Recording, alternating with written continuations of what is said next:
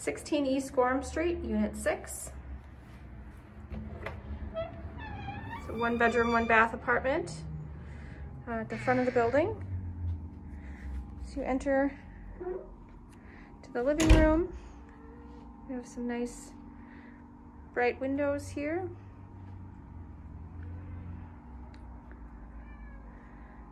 You have the kitchen. You have a little pantry closet and a hall closet here. Down the little hall here, this is the closets for the for the bedroom. A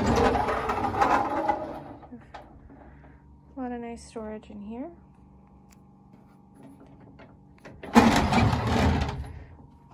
To the right, it's a nice sunny bedroom.